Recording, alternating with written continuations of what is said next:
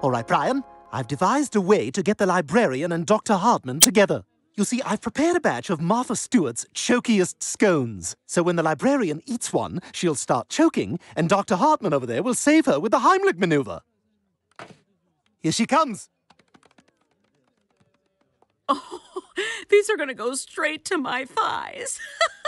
now, if only I could find a man to do the same. oh. Oh, there a little.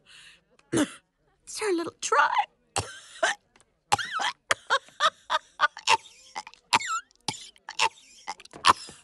Okay, remain calm. I've done this before. Stop, drop, and roll. Oh, no, no, wait, no, wait. I know this. Okay, remember your medical training. If a patient chokes on food, do the tummy squeezy move. Yeah, that, that, that's it.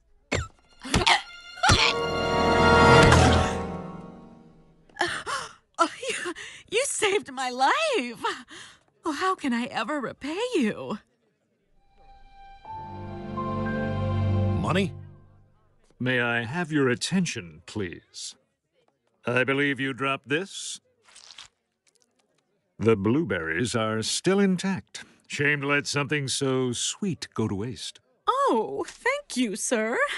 Uh-oh, Brian. Looks like we've got a love triangle on our hands. I'll treasure this forever. Well, don't wait too long. It'll liquefy from the enzymes in your saliva.